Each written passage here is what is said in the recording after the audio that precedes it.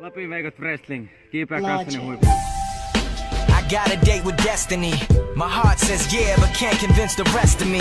I've tried so hard to make it with no recipe. My selfish ways caught up and got the best of me. I need redemption, no need to mention my past. Cause all that matters now is bigger than diamonds and cash. The glitz, the glamour, the lights, the camera, the action. It stays the fans, the speakers blasting. You know I want it, I need it. Don't doubt it, I can't live without dreamed of, it's everything I've ever wanted. But is it really truly in my plans? Or did God mix up my blueprints? Did he have it right there in his hands? Anybody give me a hint? I can feel it now, I know it's coming.